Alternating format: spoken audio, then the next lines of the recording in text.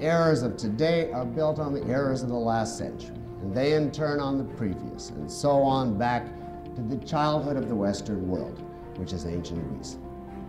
To understand what exactly are the root errors of today's world, why these errors developed, how, how they clashed with and are progressively submerging its good premises.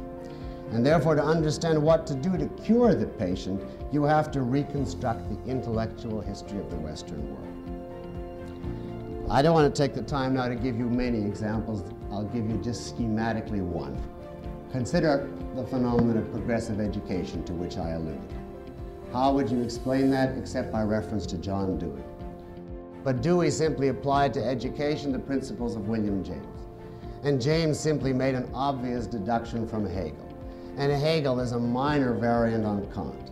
And Kant was trying to answer Hume, who was the last consistent consequence of the trend inaugurated by Descartes and Locke, who were simply reformulating in a somewhat more secular way the principles of Augustine, who was simply reformulating in a somewhat more religious way the principles of Plato, who was trying to answer the dilemma posed by Heraclitus and Parmenides, who took off from four sentences of Thales with which we are beginning tonight.